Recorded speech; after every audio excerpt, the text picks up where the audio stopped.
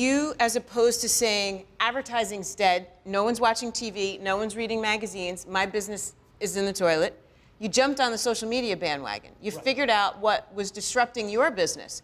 That could be applied pretty much across the board. Well, what we, what we built was we built the first live media trading room. My, my, my staff thinks I'm crazy because I come up with these wild ideas, but we built a live media trading room because media, I'll give you just television.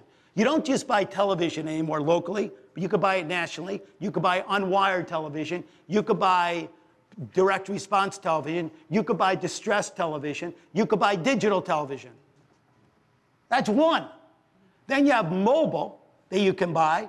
Then you have social that you can buy and all the social channels you have. So being an advertising expert today, you have to be multifaceted. So we built the live media trading room for our media planners to go in and work as a team to aggregate the buys so they're truly balanced.